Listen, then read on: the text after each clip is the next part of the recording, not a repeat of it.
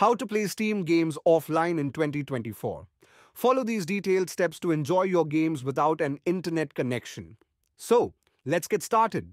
Launch the Steam application on your PC by double-clicking the Steam icon on your desktop, enter your username and password in the login screen, and click the login button. If you have Steam Guard enabled, enter the verification code sent to your email or mobile device. Once logged in, navigate to the Library tab at the top of the Steam interface. This will display a list of all the games you own. Find the game you want to play offline from the list on the left-hand side. Click on the game to view its details.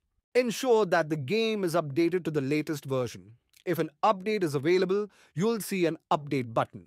Click it and wait for the game to update completely. If there is no update button, your game is already up to date.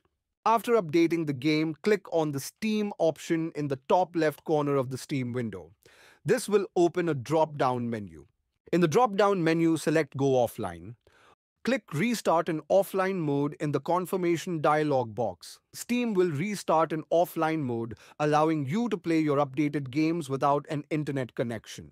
And that's it. By following these steps, you can now play your Steam games offline.